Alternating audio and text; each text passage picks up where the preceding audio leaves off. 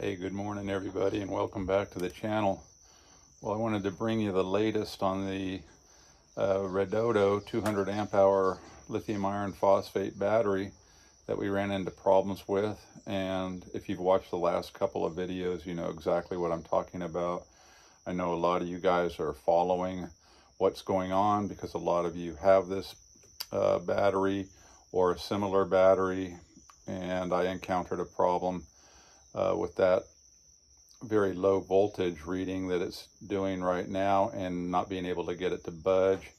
I got just tons and tons of great comments from you guys of things to try to fix it. We've tried a multitude of things to get that to move one way or the other uh, to no avail so far. In the meantime, I have been in contact with Redodo throughout this process they have been very responsive and I've had a long conversation with their technical support. They just couldn't have been more accommodating and trying to troubleshoot this the best that we could. And the end result now is I'm going to uh, send the battery back to them. They are going to send a replacement and they are going to uh, tear that battery apart themselves and diagnose it and they will get back to me and let me know uh, what the problem is on that battery. And I have read every single one of your comments on the, the past couple of videos about some of the problems you guys thought it might be. I tried what little I know how to do. Uh, suffice it to say that I just never got anywhere on it. Um, some of you guys may have been right, and we will find out soon. It will take a little bit of time, given the distance and all of the shipping back and forth. but uh, the end result is uh, Redodo uh, has done exactly as you would hope.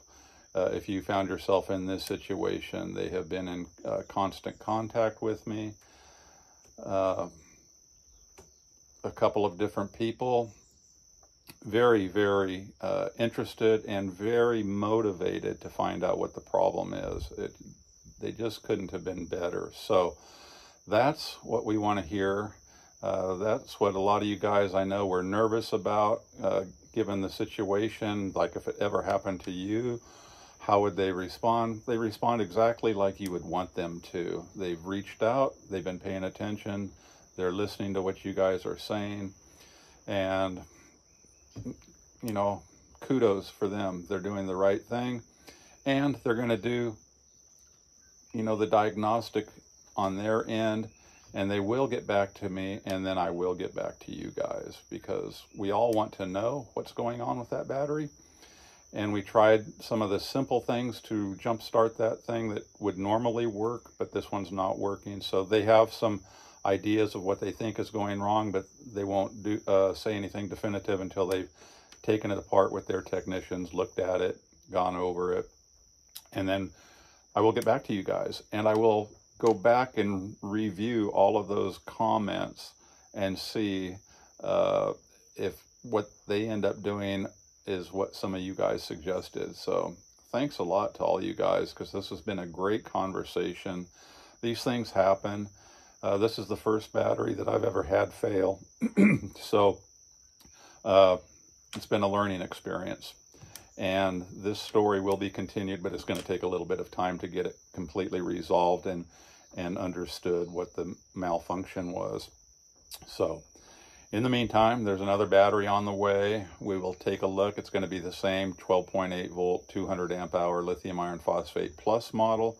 They're going to send a, a, new one out here. We will take an, another look at that and do another review on that. It's been a great battery.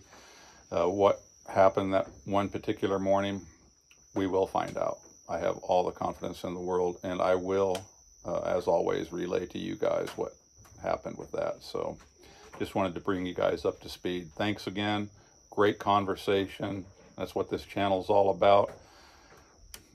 We're all helping each other. So have a great day, everybody. Aloha.